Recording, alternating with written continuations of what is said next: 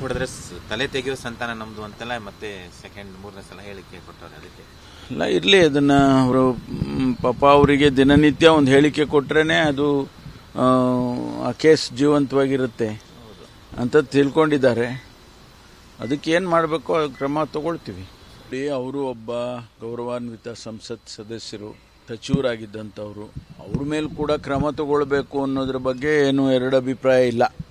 ಕಾನೂನು ಎಲ್ಲರಿಗೂ ಒಂದೇ ಇರುತ್ತೆ. ಆದರೂ ಕೂಡ ಒಂದು ಒಬ್ಬ ವ್ಯಕ್ತಿ ಆ ಮಟ್ಟದಲ್ಲಿರ್ತಕ್ಕಂಥ ಒಬ್ಬ ವ್ಯಕ್ತಿಗೆ ಸಂಯಮದಿಂದ ವರ್ತಿಸ್ತಾರೆ. ಅದನ್ನೇ ವೀಕ್ನೆಸ್ ಅಂತ ತಿಳ್ಕೊಳ್ಳೋದು ಅಗತ್ಯ ಇಲ್ಲ. ಯಾಕೆಂದರೆ ಅವರು, ಅವ್ರ, ಅವರ ಸ್ಥಾನಕ್ಕೂ ಗೌರವ ಕೊಡಬೇಕಿಲ್ಲ. ಸ್ವಲ್ಪನಾದರೂ ಕೂಡ ಅವರು ಹೆಸಿಟೇಟ್ ಮಾಡ್ತಾರೆ. ಪೊಲೀಸ್ನವರಾಗಲಿ, ಇಲಾಖೆಯವರು, ಆಯ್ತಪ್ಪ, ಇವರು ಒಬ್ಬ ಸಂಸದರಿದ್ದಾರೆ, ಅವ್ರ ಮೇಲೆ ಕ್ರಮ ಮಾಡಬೇಕಾದ್ರೆ ಎರಡು ಸಾರಿ ಯೋಚನೆ ಮಾಡ್ತಾರೆ, ಸಮಯ ಕೊಟ್ಟಿದ್ದಾರೆ. ಅದು ಮುಂದುವರೆದ್ರೆ ಏನು ಮಾಡೋಕ್ಕಾಗುತ್ತೆ? ಹಾಗೆ ಮುಂದುವರೆದ್ರೆ ಕ್ರಮ ಕ್ರಮ ತಗೊಳ್ಳೇಬೇಕಾಗ್ತದಲ್ವಾ? ಅನಿವಾರ್ಯ ಅನಿವಾರ್ಯ ಅಂತ ಬಂದಾಗ ಅದನ್ನು ಯಾರು ನೋಡೋದು